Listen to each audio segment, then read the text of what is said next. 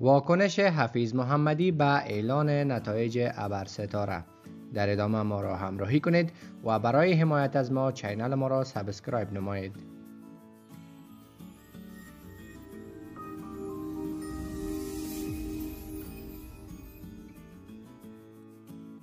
حفیظ محمدی گرداننده موفق تلویزیون طلوع و رئیس بخش Kaboora Production که از جمله با اخلاقترین مجریان بخش رسانه های تصویری افغانستان است.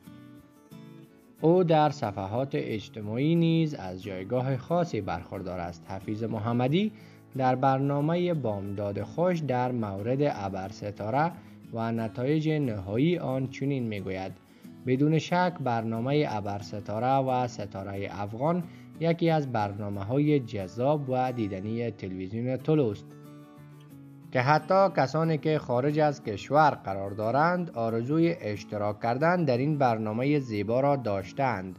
برای من تمام اشتراک کنندگان این برنامه ابر ستاره هستند و مقام اول را برای جمال جان مبارز تبریک می گویم نگفته نباید گذاشت که در ابر ستاره و ستاره افغان تصمیم در دست مردم است.